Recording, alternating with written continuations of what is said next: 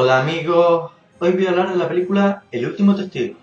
La historia nos cuenta cómo una agente de la CIA se traslada a trabajar a Europa y un buen día descubre que su empresa ha sido desmantelada y sus compañeros de trabajo asesinados, y los responsables de esto intentarán acabar con él y con su hija, lo cual deberá impedir y descubrir a los verdaderos responsables de todo esto. Con esta película está claro que lo que pretendieron hacer es un film de porno, solo que con mucho menos dinero y con una historia de mierda. Y bueno, teniendo en cuenta estas dos premisas, obviamente el resultado es el de una mierda, no podía ser otro.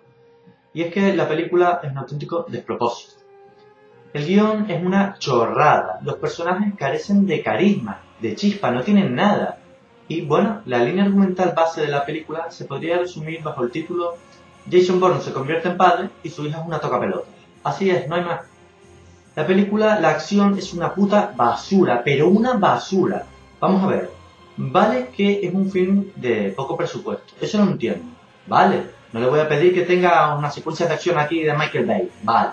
Pero joder, es que hay cosas que no es cuestión de dinero, sino de saber planificar una secuencia de acción, unos tiroteos, de cómo mm, poner la, cámara, cómo enfocarlo y tal. Pero es que el director es un imbécil, un incompetente que no sabe ser una mierda. Lo, las secuencias de tiroteos son un asco, un asco todo en la película, todo lo que tiene que ver con acción es una basura.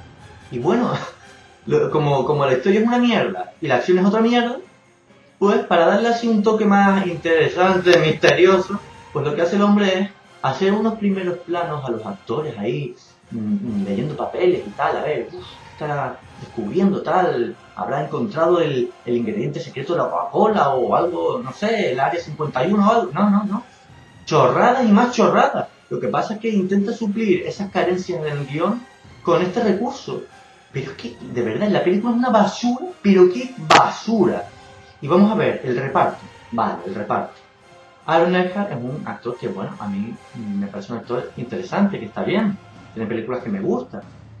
Pero que va, que va, que va. Aquí el hombre como Action Killer, que va, que va. Como Action Man, este hombre no sirve, pero ni de coña, pero ni de coña. Es que no me lo creo en ningún momento. Vamos, ni de broma. Yo veo a Matt Damon dando leches y ¡fua! Mi madre, menuda torta la que va a soltar a este, ya lo desgració de por vida y tal. O, veo, no sé, a Schwarzenegger, a, a Stallone, a Willy, a, tanta gente, ¿no? Y dice, tío, sí me los creo aquí mm, rompiendo cráneos, rompiendo, me los creo. En plan, aquí, hijos de perra, ¿no? Pero que va este tío, ¿no? Pero que ni de broma, ni de broma, no tiene el físico, no tiene nada, ¿no? No me lo creo en las peleas, no, no, no me lo creo. Y bueno, el hombre hace lo que buenamente, lo que buenamente puede, ¿no? Con, el guion de mierda le tocó. Pero que va, que va, que va. La película es un asco. Y Olga Kurilenko, pues, está buenísima. está buenísima, eso, eso no hay que lo discute. Y bueno, ella también hace lo que puede, pero que va, que va. Los actores, que va, que va, que va. Esta película es una auténtica basura, pero una basura. Así que yo, no sé, yo voy a ser generoso. Me voy a pasar de generoso, creo, y todo. Y le voy a dar un 0,5. Hasta la vista, baby.